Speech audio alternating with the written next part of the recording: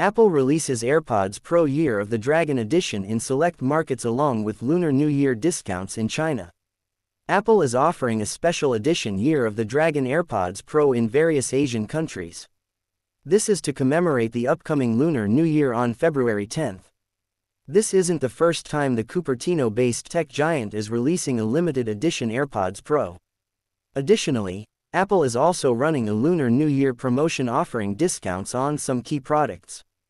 As spotted by MacRumors, the special edition AirPods Pro are available on Apple's online store in China, Hong Kong, Taiwan, Singapore, Vietnam, and Macau. They are also released in South Korea where it is Year of the Blue Dragon. These TWS earphones have a dragon engraving on the USB-C charging and storage case. The special edition of course has a red dragon printed on the side of the retail box.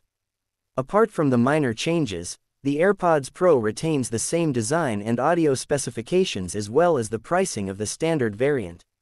Meanwhile, Apple China is also running discounts on various products from January 18 to January 21 customers can save up to 500 Chinese yuan, $70, and 800 Chinese yuan, $112, on the iPhone 15 series and MacBook Air 15 inch.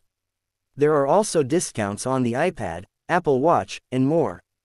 The Cupertino-based tech giant usually conducts promotional sales in China through its official channels and instead leaves it to authorized resellers. There is also the Year of Dragon wallpaper available for the iPhone, iPad, and Mac on Apple's website in Hong Kong.